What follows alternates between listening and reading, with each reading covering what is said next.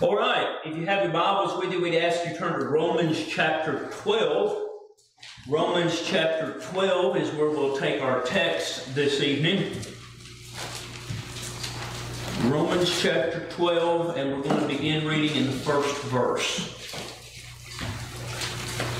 Romans chapter 12, in the first verse, the Bible says, I beseech you, therefore, brethren, by the mercies of God, that you present your bodies a living sacrifice, holy, acceptable unto God, which is your reasonable service. And be not conformed to this world, but be transformed by the renewing of your mind, that you may be able to prove what is the good and acceptable and perfect will of God. Let's pray. Dear Lord, we thank you for your blessed word. Lord, we thank you that it is living and it speaks to us every day when we look to it. God, give us the mercy and grace to look at it every day and to seek your will. Lord, we thank you for the church. We pray that you would be with us tonight, that you'd manifest this word as it were a living word to those that hear. And we'd be faithful to give you the praise and the glory and the honor for it all. For it is in Christ's name that we pray. Amen. Now, some one uh, somewhat familiar verses uh, of Scripture, uh, Paul writing to the church at Rome. And if you remember, Rome was a mixed church. It had some, some Gentile believers, and it had some Jewish believers. Some of the Jews had actually been exiled to Rome, and they had stayed there. And you got to appreciate the book of Romans, and uh, Brother Jared's kind of been browbeaten with it uh, for the last several months, but to understand why the book of Romans is written like it is, you have to understand Roman culture. Now, the Romans were bent on hating our God. Now, they had a few of their own they were okay with, uh, but that very society that Paul was writing to, and he even warns it in chapter 1, had a tendency and a bend to sexual immorality, including sodomy. Sodomites, and that was their culture. And in Romans 1, he lays out what the concern would be in the future for these people, and he was right on line. The, the, the Roman culture, the Roman uh, society, as Paul wrote it to it, is no more. It completely collapsed because of immorality. And so, as they were believers, and Paul already seeing the trouble in the way, he begins to warn them how to fight this, how to be ready. And Christians today, uh, I would say by and large, they're not ready. Uh, when the uh, when the uh, uh, problem comes, we're not prepared to deal with it. When the attack is upon us, we don't know what to do or where to go. Now, we as the Lord's people, we ought to be prepared. Because I assure you, most assuredly, the attack is coming. If you're saved, the attack is on the way, and if you're lost, hey, he's where you want. He's you're where he wants you to be. So he ain't gonna waste time with you. But for and that is who Paul is writing for, uh, it is a risk for believers. Now he begins, "I beseech you, or I beg you, listen to me. I beseech you, therefore, brethren." Now Again, he's not writing to the lost. He, uh, he says, brethren.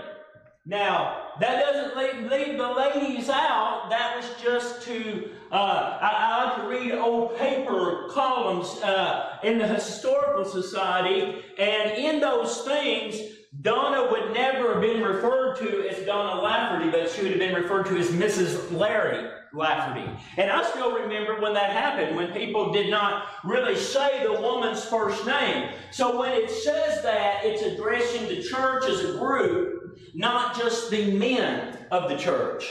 And he, he writes to them and uh, addresses redeemed people specifically. Then he says, by the mercies of God. You know what makes truth real to you? The mercy of God. When, when you think about down through the years and how God's revealed Himself to you more and more and more through the Word of God, you know how that growth happens? By the mercy of God. And you see other individuals maybe saved along the same time as you are, and they're right where they got started. And it's easy to criticize them. Well, they don't study enough, they don't attend church nothing, uh, enough. Well, when you boil the water off, it's this. You know what you know by the mercy of God. Mm-hmm. And that's that plus nothing, minus nothing. And, and that's what Paul was saying. If you get this truth, if you understand this truth, it's by the mercy of God. And on the flip side of it, and this is the dangerous thing, and we know from the history of the church at Rome, it's exactly what did happen. Uh, if the mercy's not there, you're going to fall for the other. You're going to believe the flip side to this. So he, he, uh, he begs them essentially in the name of the Almighty that you present your bodies a living sacrifice. Mm-hmm. Now, the Jewish believers that uh, made up this church, and again, uh, it's a mixed multitude, they hit this, that was for them. Because they knew all about the Jewish sacrifices. They knew how they were to be done. They knew what was to be sacrificed. They knew when it was to be sacrificed. And he says, You forget about all the doves, and you forget about the lambs, and you uh, the cows because now you are the sacrifice. Now, the atonement was by Christ. Us living for Him is us. You know, don't blame your sin on God. He cleansed you from your sin. He cleansed you from the penalty of your sin. And I don't believe that we are a free will people. Uh, if I did, if I believed that, I'd have free will Baptists over the door. But we're not. But we are a free agent. In other words, the money that I earn at work, I do what I want to with it, right? It's mine. I'm its agent. And when He saved your soul, what you do next, not only is it up to you, but you're responsible for it. And, and you know, I think we understand and we're like, woohoo, uh, we do what we want to do. Well, just remember, when, when you have that mentality, you're responsible for it as well. And we've raised up a whole generation that will not take ownership of their own actions.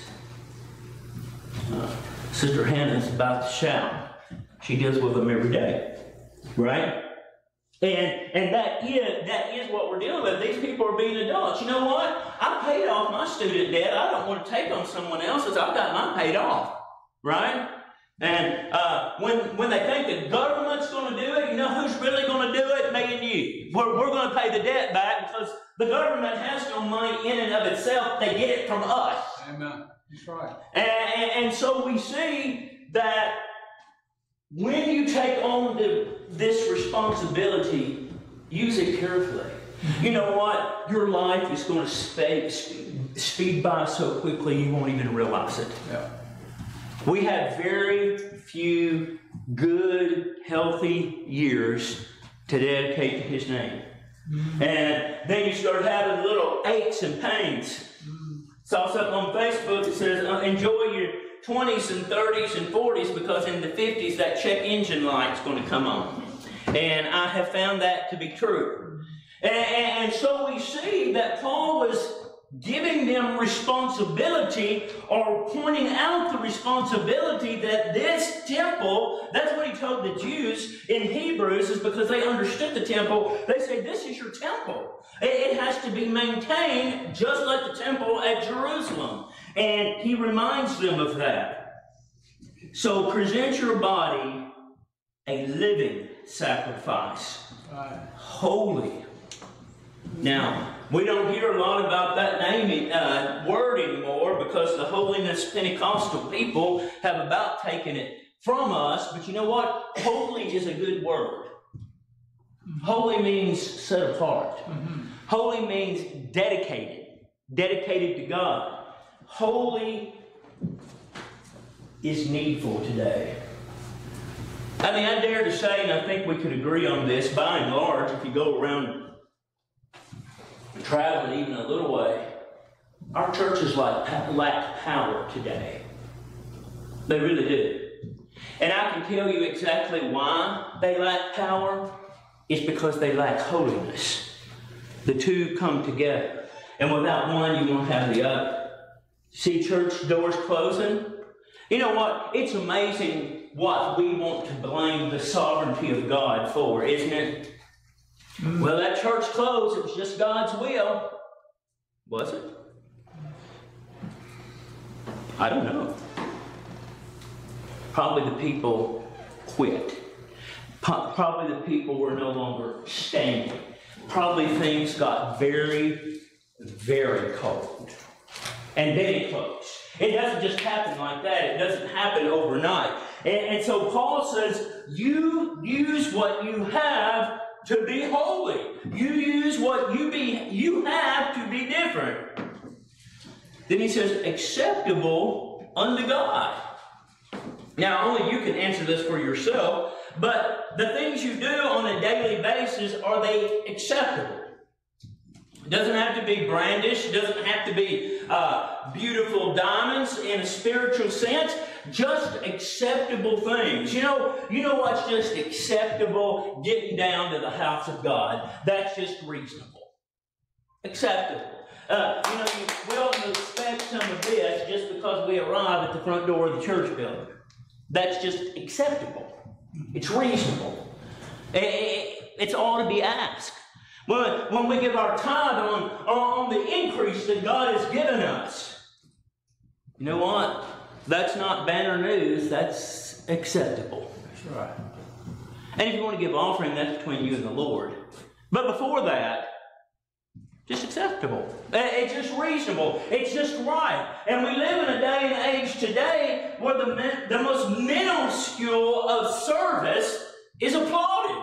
It, it, it is, and here we find he begins to outline some things, and then I love the next verse, which is you're reasonable. Reasonable. Now, ladies, this is this is y'all. Um, go down here to Frank's, especially with the way money is right now. You look, you look at something that's reasonable, right? Now, reasonable, you have to look at two things: the quality of what you're buying and the amount of money you're spending on it. Now, if you get uh, if, if you get tomatoes for 10 cents a piece, but they stink, that's not reasonable.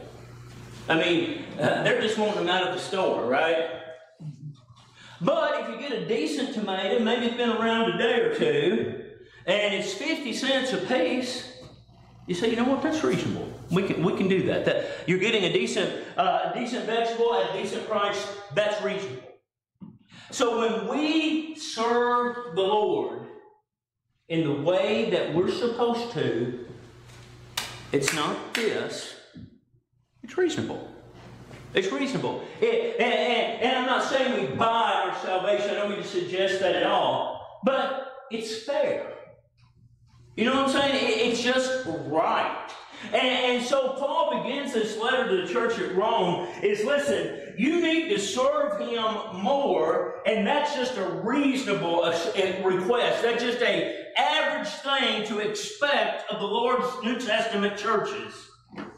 Verse 2, and be not be not conformed to this world, but be, be transformed by the renewing of your mind. Mm-hmm now, I want you to notice a few things here. And really, our emphasis is transformation. Now, let me say, first of all, that has nothing to do with salvation. Transformation is change. Now, when my little boys were little, y'all remember the Transformers. They had to have every one of them. And if uh, me and Donna didn't get them, somehow it was child abuse. And but they look one way when the kids would do this, and then they do this, and it would look totally different. And not only did it look totally different, they moved different. Sometimes it was four wheels, sometimes it was two wheels, sometimes they had arms, sometimes they didn't have arms. Uh, it was a transformation. And that's what God expects from us. He saved you to be changed. Not to look like the world, not to act like the world, not to be like the world, but to be different. And he says, So I want you transformed. I don't want you to be like this world. I don't want you to look like this world. And then he even gives us the means to do it by the renewing of your mind. Yeah, there you go. And it does say mind, that doesn't mean brain, it doesn't mean the spirit, doesn't mean the soul of man, it doesn't mean uh, your noggin. And that is how we get spiritual information. And the Lord can enlighten you that way, but it starts up here. How many times, how much time of the day do you spend here? And I'll be honest, I probably spend at least two hours a day in front of this stupid thing. And you think AT&T thinks that's reasonable? They probably do. You think Google likes it? I bet they do. You think Facebook likes it? Oh, I know they do. Right? A hundred years from now, you know what that's going to be? I have to constantly remind myself a complete waste of time. Right? And, and so that's renewing my mind for, with something. If I know, if I see a term and I'm not sure what it means, I look it up on Google, right? If it's a term, a biblical term, I've done myself a good service. If it's what's the most popular color uh, that women like in their front room, that is a waste of time. You see what I'm saying? So are, are we being reasonable? Are we, are we being zealous? Were we transformed in salvation? The best redemption, Brother Downs used to teach me this and finally got it through my head. Don't look at their profession, look 20 years down the road. If they're still hanging in there, if they still love the Lord, if they're still attending a sound church, you know what? You can pretty much die and be at peace with that. But if they're at some kind of modern, sounds like an 80s rock concert, listen, I don't have any, I don't have any confidence in that.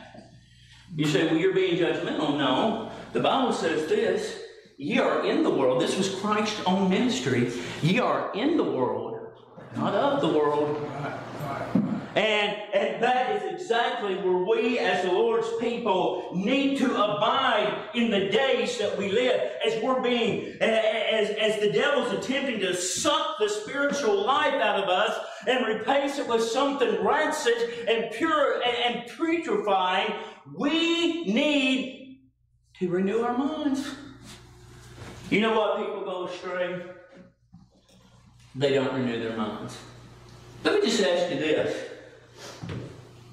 If a Church of Christ person came to you tonight, could you defend your faith? Could you say, This is why I believe in grace? This is why I believe in experiential salvation? What about the, the big new one that's hitting the Lord's churches? What do you know about the church? Is it universal? Are they singular? If you believe they're individual and singular, like I do, how do you find that? See, if you spend more time in the book and you renew your minds with these truths that you've known since a young person, they'll stay with you. And if you don't renew your minds, you know what? Because we are carnal, we're going to lose them. We won't know where to begin. We won't know what to say. We won't know uh, how to defend the truth that God has given us. Be you not conformed to this world. You know, the Bible says a picture's worth a thousand. no, I'm sorry, the Bible does not say that. I say a picture is worth a thousand words. How do you look? What would a picture of you look like? Now, I've been back at the nursing home, believe it or not, already nine months. And when I go there, after church, or I go there, uh, just run in. Sometimes Bella wants to go see her friends over there.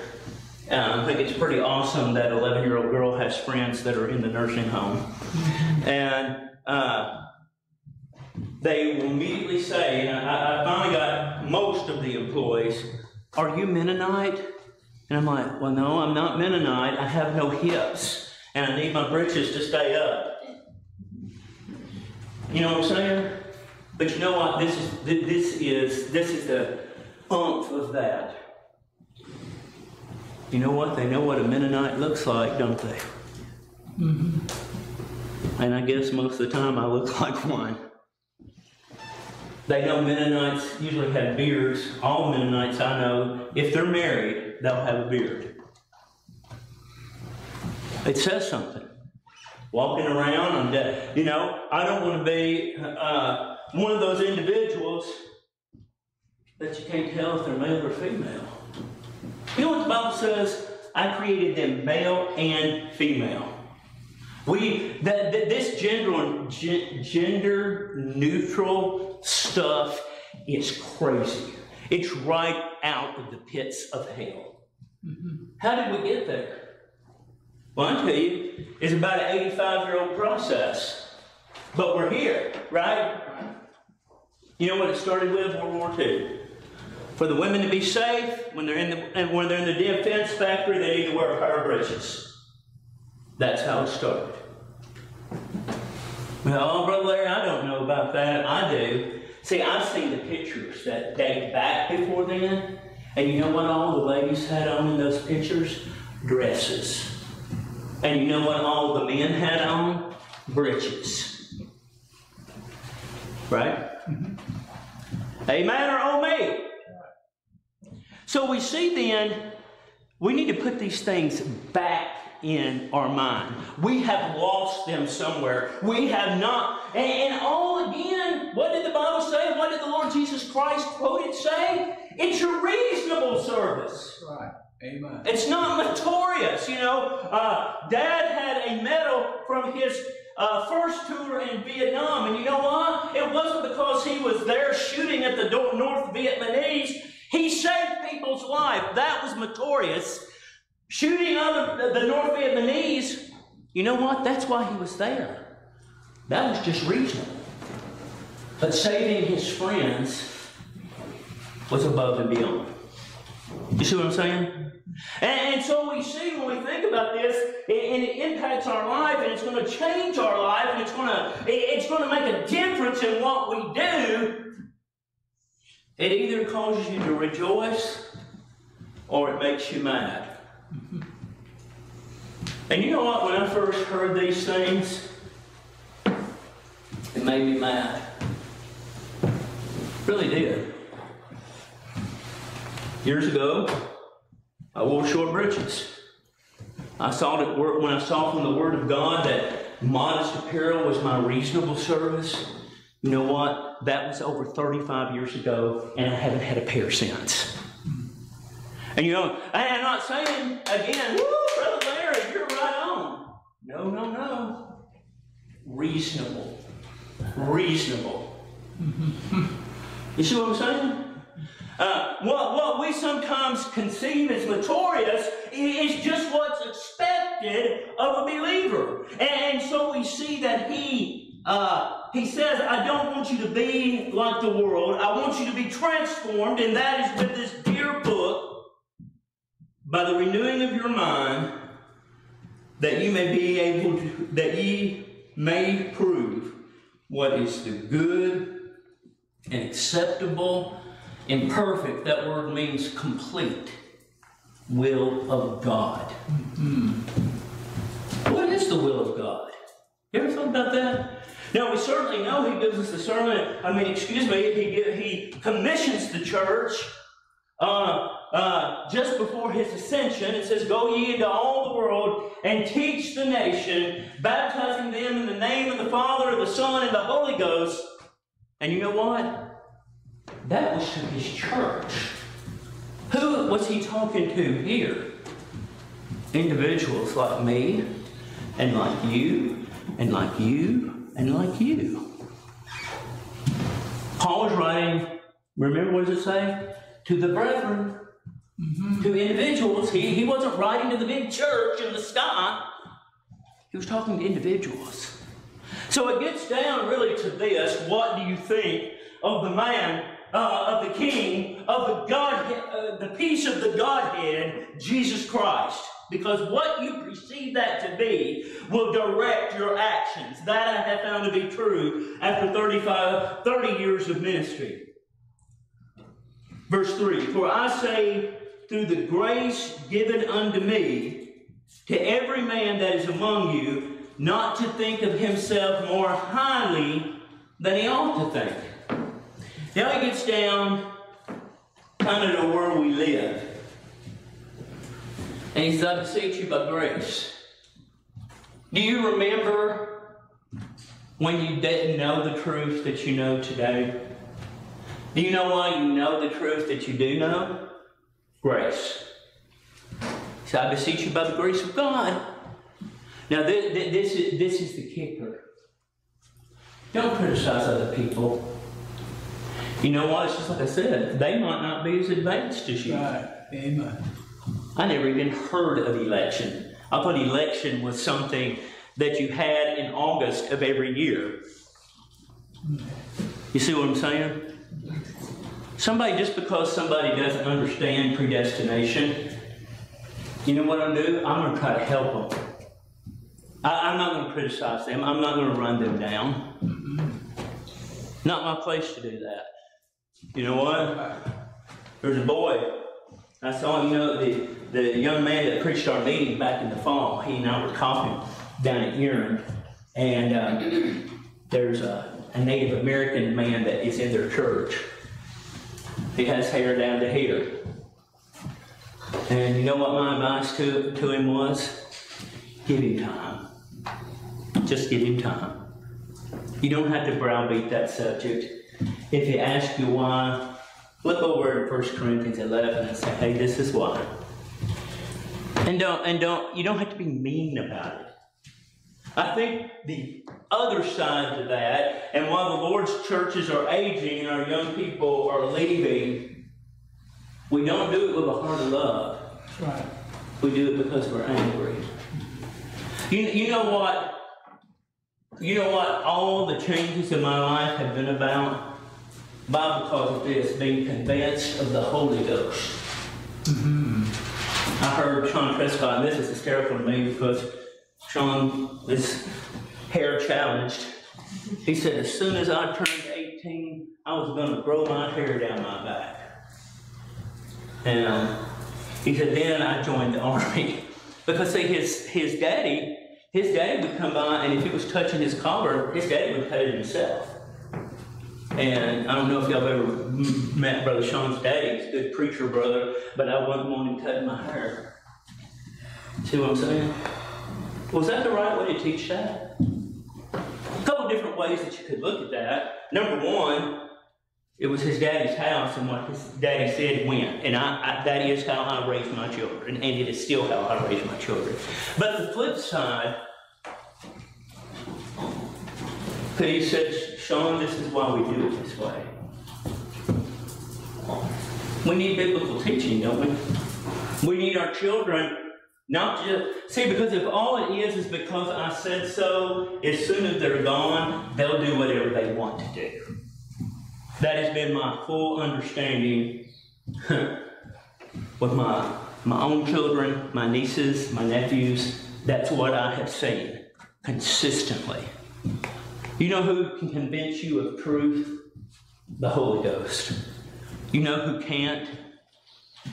Everybody else. And, and so we see then, as Paul is reminding the Romans about these truths, he says, You be graceful, you be mindful, you, you, you take compassion in what you're saying, and that is the ultimate advice here. Not to think more highly uh, they ought to think, but so think soberly, according to God have dealt to every man the measure of faith. Now, notice that word there, says measure of faith, not the faith. The, the faith is the oracles of God handed down by the Lord God Almighty and Jesus Christ to his people. That is the faith, a set of oracles. Faith, confidence you have, right? How much, how much assurance you put into something. I believe that book is the full Word of God. I believe what it says, it means. You know how I came to that conclusion? Years and years of teaching grew my faith. And when I say teaching, I don't mean me teaching. I mean me sitting there and being taught to. That's how it grows. And you know what? We can't grow that anywhere but one of the Lord's true churches. Because you know why? The other bunch, they might be right on half of it. But what about the other half? You know, you know what a half pie that's poisoned and a half pie that's okay? You know what you have? You have a poisoned pie either way. Right? Which piece you gonna grab? See, the reality is we don't know which one, do we? Right. So we need, uh, if we believe and we crave this truth with our mind and with our mind's understanding, you have to get in this book and you have to be in one of the Lord's churches. Verse 4. For as we have many members in one body, meaning the individual members of the church at Rome, and and all our members members have not the same office. So we being many are one body in Christ, and every member and every one members of one of another. Now what, what is what is that saying? Well, first of all, I want you to see that it's addressing a singular church, the church at Rome, right? What does the book of Galatians address? A number of churches, as far as we know, right? The churches of Galatia. Peter's epistles, they were to all the churches that they could find. This one, remember all the way in the beginning when Jared taught, began his lessons to the church of God, which be at Rome. So if he's saying all this, your members in particular, the body has a number of members. He was just talking to the church at Rome. He wasn't talking to everyone. He, he, he had been assisted and organized many, many churches, and he addressed this one thing to the church at Rome. You know what that means? That means we are individual. And, you know, we don't need the same message at New Testament as they need at Faith at Clarksville. And Faith in Clarksville don't need the same message that the Northside Baptist Church needs over at Elkton, right? What if I'm your nurse and I give you all the same pill? Y'all, y'all cool with that? I don't think it would work, do you? What I found, if you want to do, do that, it will help some, it will do nothing for some, and, and it will hurt some. So that's not God's design. It was a singular church at Rome that had very specific problems. It was a mixed church, both Greek and Jewish people, and they had their own special set of needs that the Lord God did address. Having then gifts differing according to the grace that is given us, whether prophesy or preaching, let us prophesy according to the portion of faith. Again, I want you to see it's not the faith of faith. Your faith grows with time. Or ministry, let us wait on ministry. Or he that teacheth on teaching. What is a ministry? Well, it's whatever God sets you to. You ever think about the ladies? And I, I, I know Brother Jody can cook, but I can't. You don't want me to cook, right? The ladies prepare a great meal every Lord's Day. You know what that is, ladies? That's a ministry. Are you preaching? No. Is it a ministry? Absolutely. You see what I'm saying? But since I can't cook, that cannot be my ministry. Does that make sense? Mm-hmm. I can preach. That's one of my ministries. Parenting is most definitely an ignored ministry in 2024. Now, I'll have to say this, and I'll brag on my own people. This church is different. I've seen some excellent parenting, and that's just by observation. But you know, you know what, you know what you do well at the things you deem important. Right. So as we think about this, that this whole thing, uh, all that he had given the church here at Rome, tonight when you go to bed, I want you to pray and think about what's reasonable. And I want you to think and pray do you need to be transformed? Maybe you forgot why that is so. Maybe you forgot why that one thing is needful. Search the scriptures. It's not for me to tell. I can point you to the scriptures. I'll be glad to do it. But who grows you in grace? It's not me. Father. And so look for yourselves. You know what? Uh, and and uh, this is one of the Campbellites' favorite verses. Work out your own salvation. And that is in the Bible, absolutely. You got a garden? Whose responsibility is to work it out? Me and Donna have one. She does more in the garden than I do. But you know what? Brother Junior don't come over and work out in our garden. Brother Jody, Sister Dina, they live on the other side of the river. We don't run down there and pull the corn out. You know why? Because it belongs to them. And even further, unless they just told me, I have no, I don't know, have no reason to know, don't, don't have any ability to know if the weeds are knee high in there. That's their garden. You see what I'm saying?